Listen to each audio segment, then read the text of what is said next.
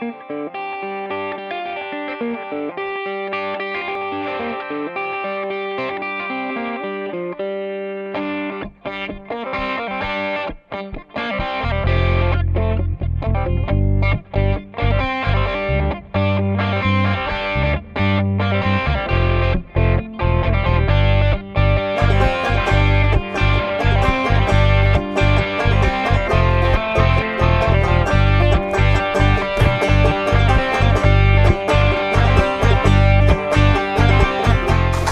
dia, sigueu benvinguts en aquesta sessió extraordinària després del Ciutadans de Calvià que avui presenta un punt únic que diu així proposta per aprovar la modificació de l'ordenança reguladora de l'impost de béns immobles. Senyor secretari.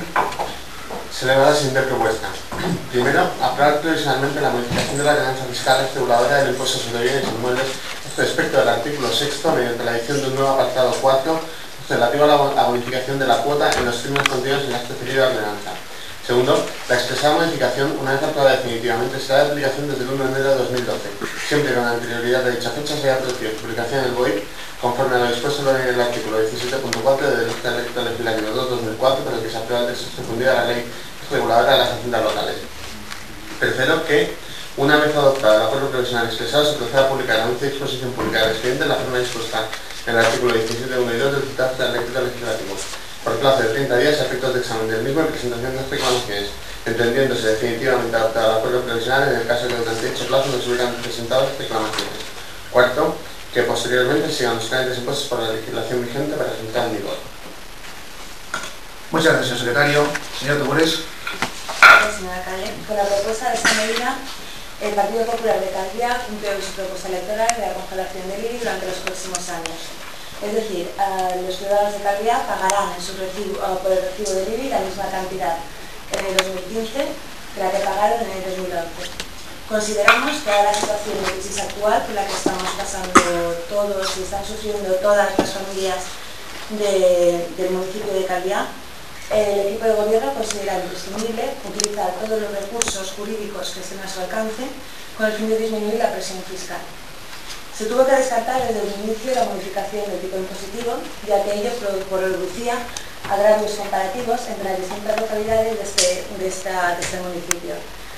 Por ello, durante los últimos meses, tanto el equipo jurídico como el equipo de servicios económicos han trabajado conjuntamente para buscar otra opción con el fin de, conseguir la congelación del IBI, optando finalmente por la bonificación legislativa, con el cual los vecinos van a tener reflejado en su recibo la compensación económica que les va, a bonificar el ayuntamiento. Es decir, esta, esta compensación consiste en la diferencia positiva entre el ejercicio anterior y el ejercicio actual, con el fin de que cada año paguen lo mismo. De esta manera conseguimos la Muchas gracias, señor Señor Rodríguez. Gracias, señor alcalde. Bueno, en primer lugar, decirles que, a este grupo socialista eh, por fin le gusta escuchar del equipo de gobierno del Partido Popular, después de tres años, de que es posible, desde el ámbito municipal, que el recibo de IBI suba. Por fin nos gusta escuchar. Llevamos tres años diciendo que la administración municipal tenía resortes para conseguir que el recibo del IBI no le suba a los ciudadanos como le ha subido en los últimos años un promedio, en los últimos tres, la suma de los últimos tres, un promedio del 40%. Por fin nos gusta escucharlo porque llevábamos tres años pidiéndose. Si lo hubiéramos ido haciendo seguramente desde la entrada en vigor de, los, eh, de la modificación de los valores catastrales, hubiéramos podido amortiguar un poco esta uh, escandalosa subida que hemos soportado los ciudadanos de Cali en los últimos años. Pero esta escandalosa subida, claro, tenía un, techo y como ustedes eh, bien traen aquí hoy a pleno, eh, tenía que tener un fin. No podíamos seguir así. Y por lo tanto, nos alegra mucho escuchar la propuesta porque eh, vamos a conseguir que el recibo de vida a los ciudadanos efectivamente no les suba. Pero señora Tugores, no me diga que el recibo del 2015 será igual que el recibo del 2011 porque usted como yo sabemos que no es así. Sabemos que esta propuesta tiene una validez máxima de tres años. Por lo tanto, en noviembre de 2014, en noviembre de 2014, es seguramente el momento en el que tendremos que eh, pensar ¿qué hacemos para que el recibo de 2015, el recibo de 2015, no eh, sea igual, perdón, no tenga que soportar unas subidas importantísimas?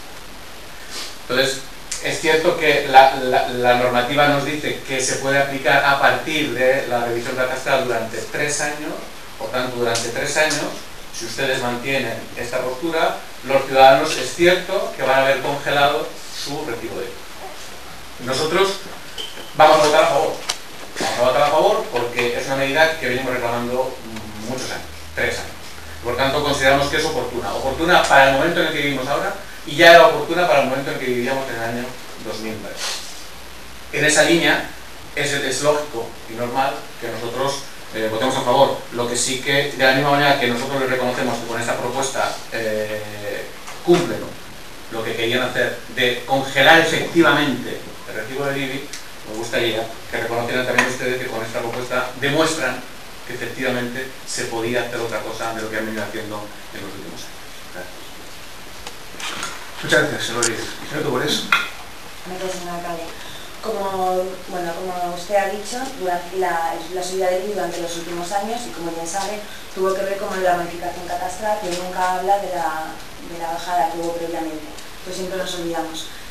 Por otro lado, eh, respecto, a la, respecto a la duración de la modificación, decirle que en los próximos años Esperamos que haya modificaciones tanto en el ámbito como en la normativa local mediante la modificación del Real Decreto Legislativo de las Haciendas Locales. De hecho, la realidad siempre va por delante de la normativa, especialmente en tiempos de crisis. Por ello esperamos dentro de tres años en el mayor, margen de actuación y si no se diera el caso volveríamos a buscar nuevas fórmulas para seguir manteniendo congelando, congelado este recibo. En cuanto a nuestra responsabilidad dentro de cuatro años, ese equipo de gobierno es totalmente responsable y coherente con las decisiones que está tomando y, nuestro principal interés es el beneficio del ciudadano. Por eso hemos traído también aquí esta propuesta. Gracias. Gracias a todos. Señor Díaz. Muchas gracias, señor alcalde. Eh, hemos hablado muchas veces de lo que supuso la bajada del IBI en la primera legislatura del Gobierno Popular. El otro día de votar a pleno lo que supuso efectivamente la bajada del IBI de ese 20% que ustedes decían que no era del importe que pagaba el ciudadano, sino que era del tipo de, de, gravamen que se aplicaba al valor catastral. Por lo tanto, la bajada efectiva no fue de un 20%. Pero eh, lo que también les he hablado, y también le traje con números, el pleno pasado, lo que subió un recibo de libros en últimos tres años. Por lo tanto, sabemos y todos los ciudadanos saben de calidad lo que se les ha apretado en el recibo de IBI en estos últimos años que son valores próximos al 40%, o no próximos, no, medios al 40%, de euros reales en el recibo. Por lo tanto, que ustedes traigan ahora esta modificación, insisto en que viene a demostrar que se podía hacer. Y yo les pido que reconozcan que efectivamente se podía hacer. Que lo verbalicen. Lo reconocen porque lo traen a pleno. Pero me gustaría que lo verbalizaran de la misma manera que yo verbalizo que estamos muy satisfechos de que ustedes traigan esta propuesta. De la misma manera gustaría que verbalizaran que efectivamente lo habían hecho hace tres años, pero que no lo quisieron hacer. Esta modificación, bueno, habrá supuestamente próximas modificaciones en el, decreto o aplicadas al decreto de bases de régimen local para haciendas locales.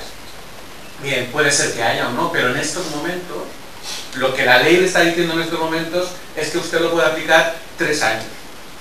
Por lo tanto, en estos momentos no podemos confirmar que en el 2015 el recibo con esta solución sea idéntico. Algo tenemos que hacer si no cambia la ley, que ya veremos si cambia, pero si no cambia, en noviembre de 2014 algo tenemos que hacer para que en 2015 el recibo no contemple una subida que recogería el porcentaje que debía haber subido en 2012, más el del 2013, más el del 2014, más el del 2015. Por lo tanto, algo tendremos que hacer en noviembre de 2014 para que en junio de 2015 los ciudadanos no paguen cuatro veces o la suma de las cuatro subidas importantes que anualmente se deberían ir produciendo por esa revisión catastral.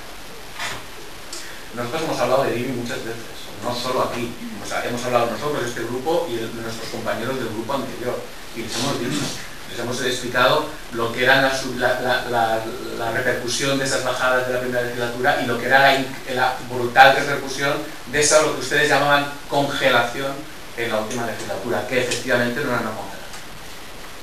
De todas maneras, dicho esto, que no se nos escape a los ciudadanos tampoco, que cuando paguemos IBI y basuras, vamos a ver que todavía estamos pagando más que el año pasado, porque las subidas que aplicaron ustedes a las tasas de basura van a suponer seguramente un incremento ¿eh? en los recibos.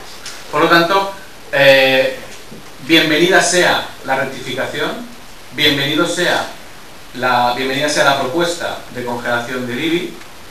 Pensemos en que eh, esta bonificación tiene efectividad tres años. Pensemos en que en 2014 tenemos que tener alguna solución para que en 2015 el recibo no ahogue a los ciudadanos y eh, tan solo un poco eh, con la voluntad honesta de este grupo de salvaguardar este acuerdo que vamos a tomar por unanimidad. Es decir, es que desde la Secretaría eh, el informe jurídico que confirme que efectivamente eh, esto que dice el Real Decreto en punto del artículo 74.2 de que tendrá efectividad a partir de la entrada en vigor de los nuevos valores catastrales, eh, tener argumentación suficiente de que nadie pueda interpretar de que tenga que ser desde el inicio de los valores catastrales, sino que sea a partir del el legislador, suponemos que entiende que en cualquier momento de la revisión. ¿eh? Sí, señor secretario. Ahora el expediente del informe favorable de la Secretaría de Intervención a esta modificación. En consecuencia entendemos que el sentido que se debe adoptar es, esta interpretación es la correcta o que se puede utilizar esta interpretación.